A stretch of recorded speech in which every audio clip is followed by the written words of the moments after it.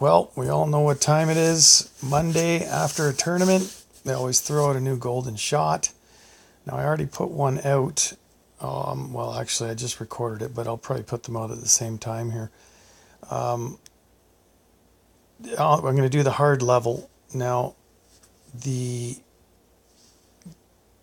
Let me get into it. It's easier to show you here. Whoops.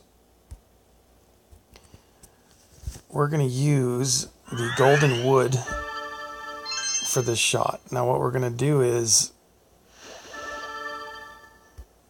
I was going to show you here. The golden wood is what we're going to use. And it's about uh, two rings or two miles an hour per ring. So, that being said, if it's six, you're going to move over three rings type of thing. We're going to put a little curl on it because we want it to go off the right side of the where the two uh, like hourglass green dip in at each other. There's kind of a slope on them, so it brings it back towards the hole.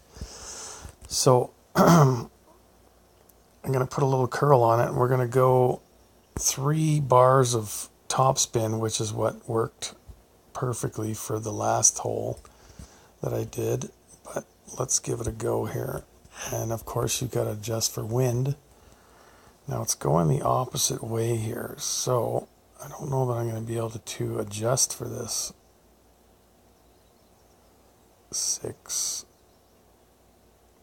Yeah, this is going to be completely different. I'm going to have to take off some. I'm only going to go two rings of backspin, and I'm just going to have to take off a little bit of power. Great shot.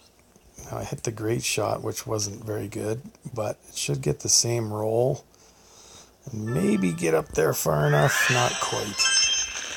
So I should have gone with the three rings of uh, topspin, I guess. We did get the cobalt chest, but you definitely got to watch that club switch um, where it switches from the golden iron to the golden wood. It'll, uh, as you saw, I had to take some off of my shot because the wind was going with me.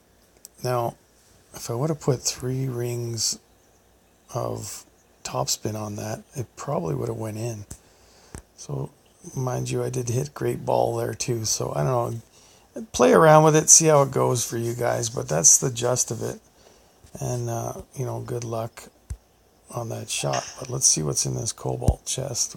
Obviously, not much. It's the furthest one out.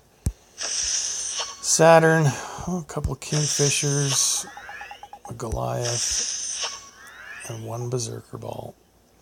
Well, there you have it, folks. Once again, if you're not part of the group, join up with Golf Clashers on the Facebook page.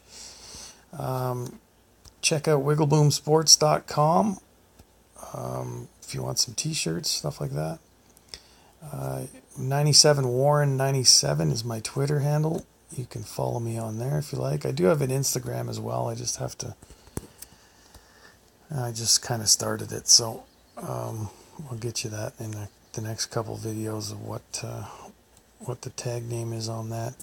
But anyway, thanks for watching, guys. Hope you guys do a little better than I did. But I think if you use that three three bars of topspin, you'll get in there.